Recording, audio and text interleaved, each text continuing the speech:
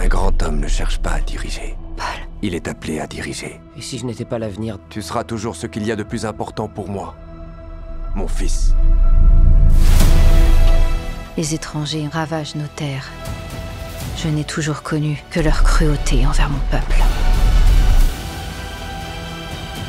On devra s'unir si on veut survivre. On va se battre comme des lions.